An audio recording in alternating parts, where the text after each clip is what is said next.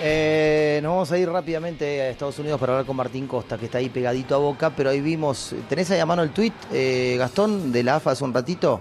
Con sugestivamente pegándole al bar, ¿no? Sugestivamente y irónicamente con esto de vimos lo mismo que vos, es el eh, tuit de la AFA, y bueno, confirmo que dentro de un rato van a presentar una carpeta, imágenes, recortes y demás, mostrando la, actuación ayer de Zambrano y todo el bar. Incluso me, avisan que están las escuchas que indican en los dos penales que le avisan y que Zambrano dice que no va a ir porque para él no habían sido nada.